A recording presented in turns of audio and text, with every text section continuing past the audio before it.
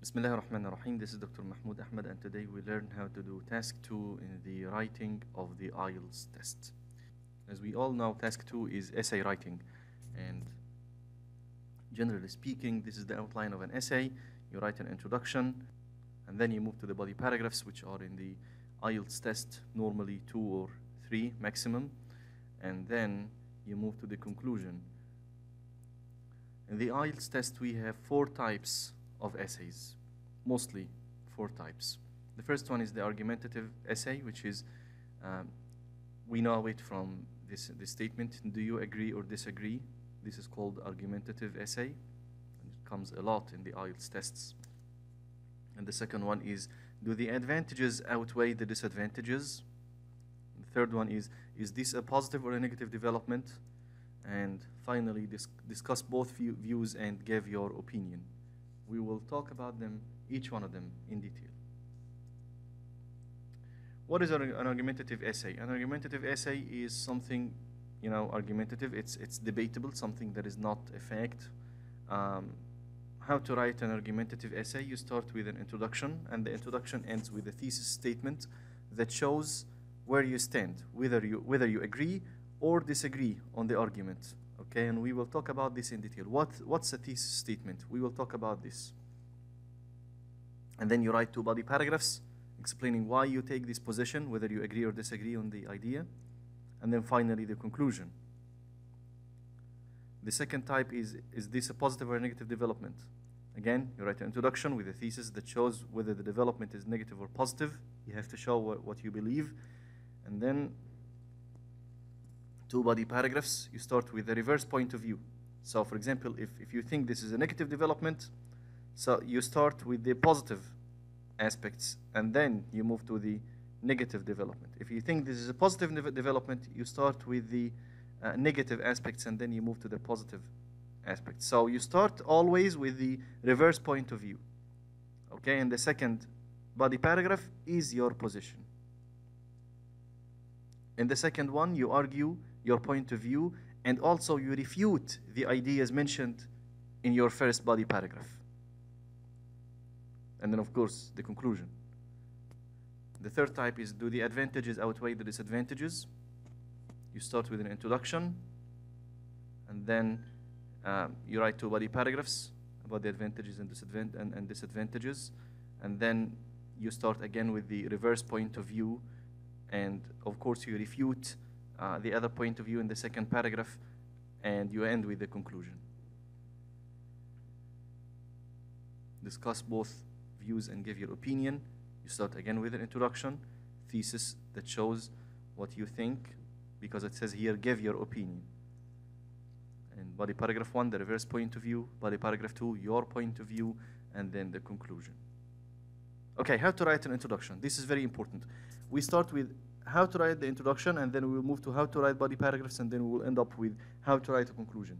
The first uh, thing we are going to learn today is how to write an introduction. The first thing you, you think of in your essay is your thesis statement. You start thinking of your thesis statement, first thing you do in the essay. So, what's a thesis statement? It's the last sentence in the introduction. The last sentence, mind you.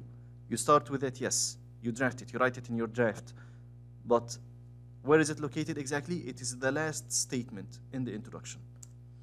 And it tells the reader what the whole essay is about. This is its function. It tells the reader what the whole essay is about. And I always see some fatal errors here. People say things like, let's talk about this and that. Don't do this. People say things like, uh, in this essay, I will talk about this and that. Again, this is wrong. Or uh, this essay will explain so and so and so. Don't do this. You write one sentence at the end of the introduction to, to tell the reader what the whole essay is about, yes, but do not use these spoken expressions like let's talk about, about, about this and that, or uh, uh, let me explain, I don't know what. These are spoken expressions, they are not written expressions. So, how to write a thesis statement? In the argumentative essay, you have to show where you stand. You have to show your position, whether you agree or disagree on the argument uh, you are dealing with. For example, do you agree or disagree on allowing abortion? this is an example of, of a thesis statement. I strongly believe that abortion shall be banned. Notice here you use I. The only place in the essay where you are allowed to use I is the introduction in the thesis statement. I do not prefer using I in any other place in the essay. For example, you say, I strongly believe that abortion shall be banned.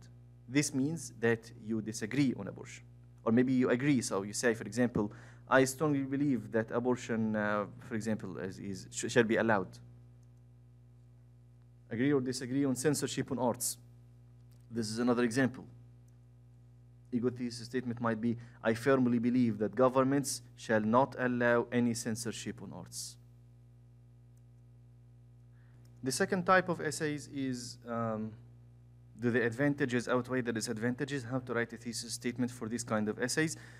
For example, if we're talking about censorship on arts, do you, do you think the advantages of censorship outweigh the disadvantages? A good thesis statement might be, despite the benefits of imposing censorship on arts, the drawbacks are much more considerable.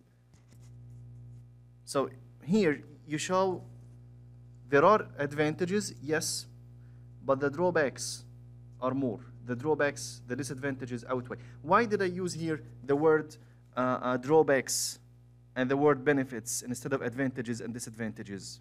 Because we said before in the last video, do not repeat the same words in your question. If you do this, copied words will be crossed out. Mind you, do not repeat the same words in the question you have to paraphrase things, okay? So here, I said benefits instead of advantages. I said drawbacks instead of disadvantages, okay? Another example, although blah, blah, blah has a plethora of benefits, negative outcomes are too dangerous to be afforded. So again, here, I used a plethora of benefits to mean advantages. Here, a plethora of benefits to mean advantages. Negative outcomes, it means disadvantages are too dangerous to be afforded. So here I, I, I show that disadvantages outweigh the advantages. Okay? Notice again, rephrase. Is this a positive or a negative development? This is the third type of essays. So let's take social media, for example. People now communicate on social media instead of real, real life communication. So a good example might be people now communicate on social media more than they do in real life by visits or phone calls. Is this a positive or a negative development? A good thesis might be, although keeping in touch in virtual reality is convenient, traditional ways of communication are still more important. So this, this, this statement shows that you think it's a negative development. Okay, now we're done with the thesis. Remember, the thesis is the last statement in the introduction. So we need to think of the, of the sentences before the thesis. You need two or three sentences before the thesis for, for, to complete the introduction. So how can we do that? The best way to do this is the funnel technique. Funnel technique is also known as moving from general to specific, or in this case, we move from the specific to the general. For example, let's talk about abortion. Your thesis statement is disagree on abortion. This is the very specific. Okay, this is the very specific. We need to think what is more general than disagreeing on abortion. We can talk, for example, about reasons of abortion. Okay, what is more general than reasons of abortion? Abortion in general. Okay, so this is a good example of funnel technique that ends with disagreeing on abortion. Again, you ask yourself, this is my very specific. What is more general? What is more general? What is more, and you, you move up. As you move up, you, you think of more general ideas. So we can write an introduction on this uh, funnel like this. You can say, I strongly believe that abortion shall be banned unless delivery is medically proven to jeopardize the life of the mother. This is uh, the thesis statement, okay? So look at this introduction. You start with something that is very general, like abortion is the deliberate act of getting rid of one's own baby. This is very general, abortion in general. And then you move to the uh, reasons, as we said before. Look at here. Abortion in general, and then reasons of abortion. Although it is sometimes done for medical reasons, some people do it only because they do not want to be parents. However, this is now the thesis statement. I strongly believe that abortion shall be banned, unless, um, again, so and so. Okay, so here, as we said, we move from very general to specific. Another example while some schools allow boys and girls to attend together, other systems see it is better to have one sex education. Do the advantages of mixed systems outweigh the disadvantages? This is the question. So you can write a thesis statement like this. Although mixed systems have some benefits, I believe single-sex schools are more, more efficient. So this is the, the thesis statement. It shows where you stand. It shows that the, uh, uh, um, that the disadvantages of mixed systems are more than the advantages of single uh, of mixed systems. So you write the introduction. You start with something that is very specific, which is the thesis statement. You write it uh, uh, in your draft. Single sex is more efficient. Here we learn how to think. Okay, single sex is more efficient. Single sex systems are more efficient. And then you start to think something that is more general. What is more general than this? The sentence above, the sentence before should be some schools allow mixed educations, others do not. This is something more general. And then you start to think of something that is most general. The most general thing in this idea is that quality in education is blah, blah, blah. So this is an example of an introduction. Look at the last sentence. Although mixed systems have some benefits, I believe single, uh, single-sex schools are more efficient. Okay. What is more general than this? Although some uh, educational institutions still operate a system that, that separates different genders, other schools argue that mixed classrooms yet yield uh, better results. Okay, what is most general, the most general idea is ensuring quality education is the shortest cut for building civilizations. Notice, your introduction must be short. It shouldn't be very long because the whole essay is 250 words, so do not write lengthy uh, introductions. Avoid copying from the question. As we said, you have to paraphrase. Variation of language is very important. You cannot repeat the same words together. Sometimes you say sex, sometimes you say gender, sometimes you say separate, sometimes you use other, use other words. So do not uh, repeat the same words again and again.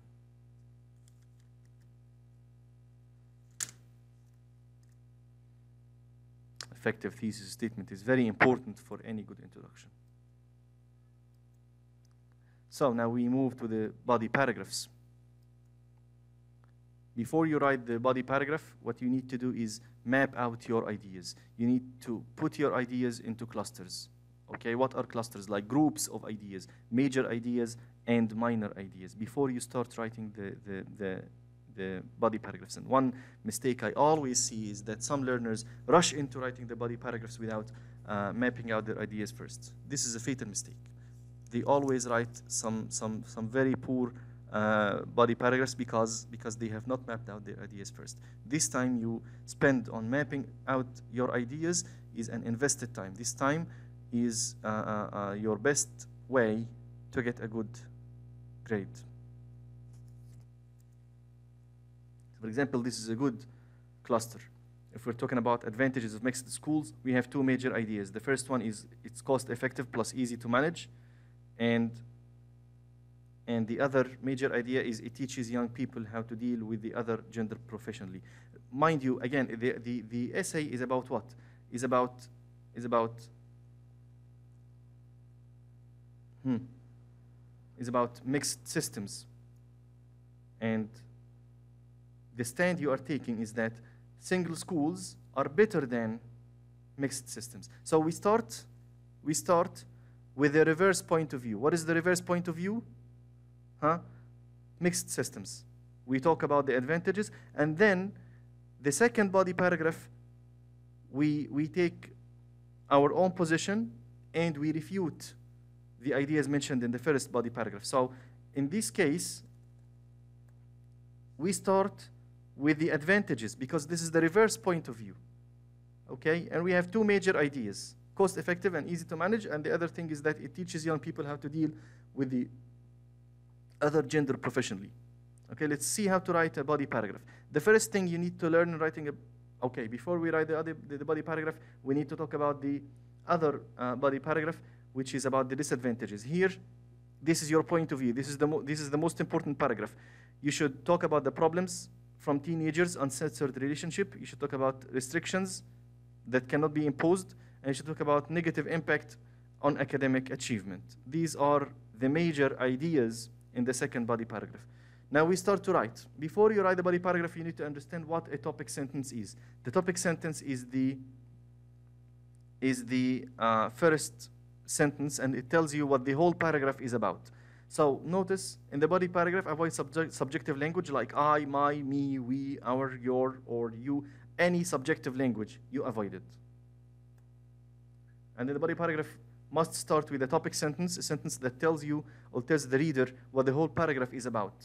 For example, if you're writing about the causes of the rise of divorce rates, a nice topic sentence can be, why have the rates of divorce increased so drastically? This is a question. So if, when you read a paragraph that starts with this question, why have the rates of divorce increased so drastically? You understand that the whole paragraph is going to talk about reasons of the increase of divorce rates. Okay? Or the increase of divorce rates is attributed to various reasons. So if you write a paragraph that starts with this topic sentence, the increase of divorce rates is attributed to various reasons, you understand that the whole uh, paragraph is going to talk about the reasons of the increase of divorce rates. Okay? So it's the first sentence in the in the paragraph. Do not forget. Do not use, for example, in the topic sentence. This is a mistake I always see. Otherwise, you will have to uh, stick to this example all over the paragraph. Okay? Avoid examples in the topic sentence. You can use examples in the in the body paragraph, but not in the topic sentence. So this is this is um, the topic sentence of the body paragraph of body paragraph one. On the one hand, mixed systems are uh, argued to have advantages over single-sex schools. So, as we see in this topic sentence, it's clear that the, the, the paragraph will argue for the advantages, okay, the benefits of which is again the reverse point of view of single-sex schools. This is the topic sentence, okay? Then we move to major idea one, which was what? Which was it's cost effective and easier to manage. Firstly, or first, they are more cost effective and easier to manage. Full stop. Period. You have to stop here. This is your major idea. Do not elaborate here. Elaborate in the sentences to come. That is, we use this to explain, the mere idea that stakeholders would not bother, would not have to bother with uh, sex restrictions can save both money and effort. Okay, this is the meaning of the first major idea. Okay, and then we move to the second major idea, which is uh, it is claimed to, to help them deal with the other sex professionally. Second, being in a mixed environment is claimed to educate students on how to deal effectively with the other gender. This is the second major idea. This can make life much easier for students after graduation. Again, this is like a minor idea for, this for the second major idea.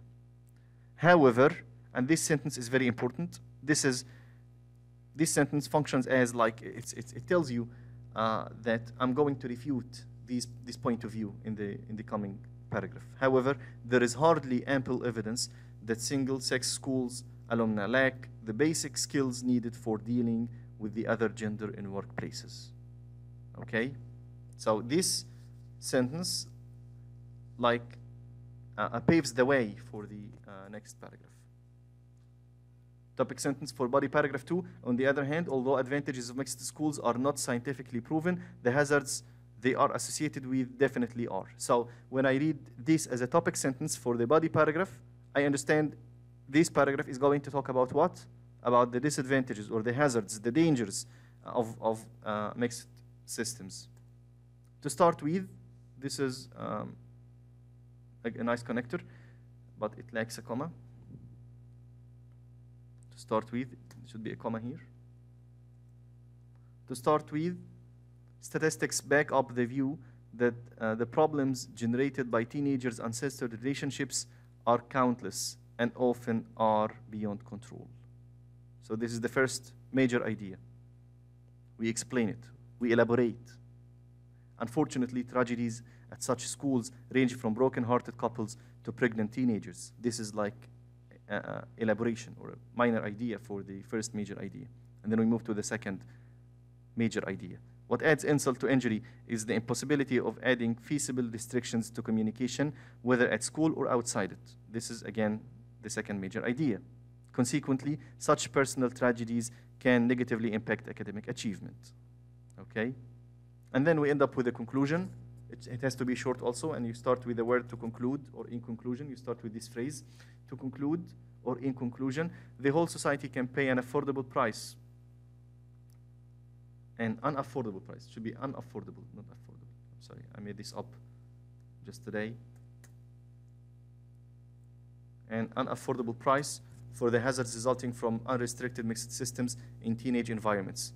Some mistakes can only take minutes to be never redeemed. So, conclusion: uh, do not do not write very long uh, conclusions. I, I hate lengthy conclusions, and you lose marks if you you write uh, lengthy conclusions. So, um, two or three sentences are perfect. Now, this is another example for an argumentative essay, and argumentative essays come a lot in in IELTS tests. Let's see an example of an argumentative essay. Do you agree or disagree on uh, applying censorship on arts? Okay. Again, you start with an introduction. What is the thesis statement? I strictly believe that imposing censorship on arts is not only stupid but also dangerous. This is the, the, the thesis statement I made up. Uh, so here in this essay, you are going to talk about two things. That censorship is stupid and it is dangerous. Okay, so these are the two ideas or the two body paragraphs you're going to, to uh, talk about. So you, you, start to ask yourself what is more general than this? For example, why governments impose censorship on arts? What is more general? Again, ideas can be positive or negative. More general or most general, arts in general. So how can we write um, uh, an introduction with these, uh, with these ideas? The first idea is about the most general thing, arts in general, and then the second sentence is about uh, ideas can be positive or negative, and then the third sentence is why governments impose censorship on arts, and then the final statement, the last sentence, is the thesis statement, which is I strictly believe blah blah blah. Look at this. Arts are one important measure of how civilized a nation is. This is the very general idea, the most general idea. And then you move to something more specific although the A should be capital. Proofreading myself here, I'm sorry. Although some ideas can build nations, other, other messages embedded in artworks can be destructive. And then something more general, this is why some governments impose censorship on arts. And then the thesis statement by the end. Nevertheless, I strictly believe that imposing censorship on arts is not only stupid, but also dangerous. This is the thesis statement. So here, as you see in this thesis statement, you are going to talk about two things, stupid and dangerous. So this is the cluster for uh, body paragraph one, dangers of censorship. You're going to talk about controlling ideas for the benefit of some people. And then a tool of dictatorship. This is the second um, major idea. And then the third major idea, why autocracies apply censorship. Ma mapping out ideas for body paragraph two, stupid idea. Why is it stupid? Because it's not feasible, and because it's a waste of time and effort, and because young people are tempted to see the banned ideas. Okay, basically these are the ideas proposed by myself. You can write something completely different. So body paragraph one, this is the topic sentence. You start with the topic sentence. To start with, again, there must be a topic, uh, uh, a comma here. To start with, applying censorship on arts jeopardizes the, advan the advancement of societies. This is the uh, uh, topic sentence. We promised we are going to talk about the dangers, and dangers means huh, jeopardizes the advancement of societies. This is the topic sentence. So this is what you're going to talk about in this paragraph, the dangers of applying censorship. Why are they dangerous? First, some parties aim at controlling the flow of ideas that can change societies in order to maintain social stability, which is in their own benefit. However, this contradicts all values of positive change in societies. So this is the first major idea. What is the second major idea? Second, the idea of censorship is always associated with autocratic regimes. Such regimes can only seize power through and survive on the nourishment of backwardness. And then the final, and they say enlightenment is their uh, first enemy, so they claim they are protecting people from evil ideas by censorship. Okay? I concluded this paragraph with this mere concept is humiliating because it assumes people are incompetent to judge right from wrong. Okay? And then you move to body paragraph two. Again, you start with the topic sentence. Again, we said body paragraph two is going to be about, about why this uh, idea of censorship is stupid. In addition to these treacherous outcomes of censorship, I wanted to change the word dangerous and the word uh, uh, hazardous and the word, um, I don't know, jeopardy. So I used the word treacherous. We have to vary our languages. Um, treacherous outcomes of censorship, the feasibility of its application has become now questionable. So here you like doubt the feasibility of the idea.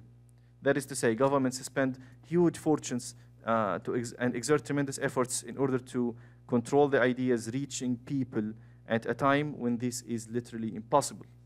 Uh, I want you to notice here how I paraphrased the word huge and then I said tremendous. Okay? The internet, for example, can transfer any information in a matter of seconds through the whole globe. Therefore, and we are here in the second uh, major idea, what really happens is that young people are even tempted to eat from these forbidden trees easily, which are made accessible online. So now we move to the conclusion.